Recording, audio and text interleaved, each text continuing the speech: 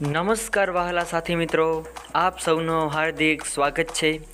મિત્રો, ફરી વખત મળ્યા છીએ આપણે એક નવા જ ફેક્ટ સાથે. તો મિત્રો, ચાલો આપણે ચર્ચા કરીએ.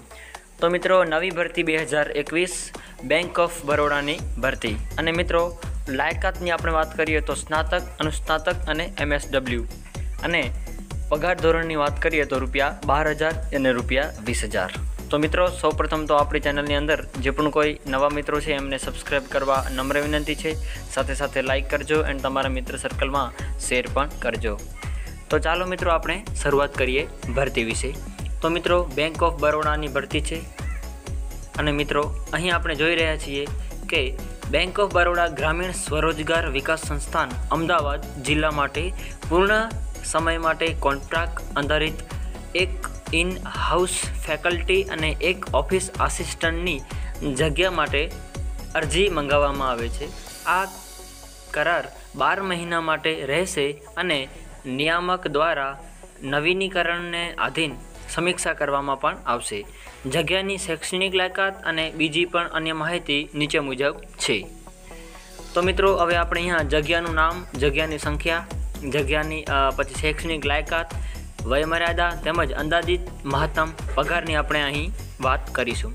તો મિત્રો, જગ્યાનું નામ ઇન હાઉસ ફેકલ્ટી એક જ જગ્યાની સંખ્યા છે.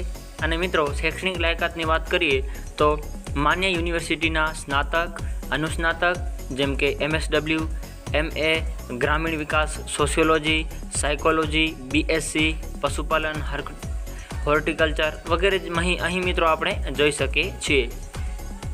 તો આને, મિત્રો, આની વયમર્યાદાની આપણે વાત કરીએ તો બાવીસથી ચાલીસ વર્ષ અને અંદાજિત મહત્તમ પગાર ધોરણની વાત કરીએ તો વીસ હજાર રૂપિયા.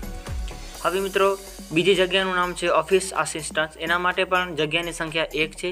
અને, મિત્રો, આની અંદર શૈક્ષણિક લાયકાતની વાત કરીએ તો માન્ય યુનિવર્સિટીના સ્નાતક, જેમ કે એમએસડબલ્યુ બીએ ગ્રામીણ વિકાસ, સોશિયોલોજી, સાયકોલોજી વગેરે અહીં તમામ તમે જોઈ શકો છો. આની મિત્રો વયમર્યાદા પણ બાવીસથી ચાલીસ વર્ષ સુધી છે. અને મિત્રો, પગાર ધોરણની વાત કરીએ તો બાર હજાર રૂપિયા છે. હવે મિત્રો, એક નોંધ ખાસ જાણી લઈએ કે ઉંમર જાહેરાતની તારીખે આધારિત રહેશે.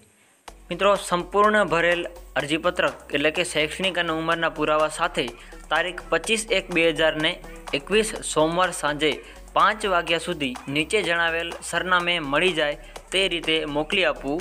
નિમણૂક કરવાની આખરી સત્તા બેંક ઓફ બરોડાની રહેશે.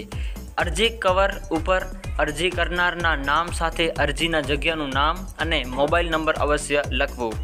અરજી મોકલવાનું સરનામું, અહીં તમે અરજી મોકલ ક્યાં મોકલવાનું છે એ તમે સરનામું અહીં તમે જોઈ શકો છો. અને મિત્રો નોંધ અધૂરી માહિતીવાળી પુરાવા વગરની સમયમર્યાદા બાદ મળેલ જે અરજી હશે એ ગણવામાં, એ માન્ય ગણવામાં આવશે નહીં. અને મિત્રો, અરજીપત્રક સંસ્થામાંથી મેળવવાનું રહેશે. હવે મિત્રો, નિમણૂક પ્રક્રિયાની વાત કરીએ તો લેખિત પરીક્ષા, ઇન્ટરવ્યૂ, મળેલ અરજી આધારિત રહેશે. અહીં મિત્રો, સંપર્ક પણ તમે સાધી શકો છો અને મિત્રો, આની વેબસાઇટ પણ અહીં આપેલી છે, જે તમે નોંધી શકો છો.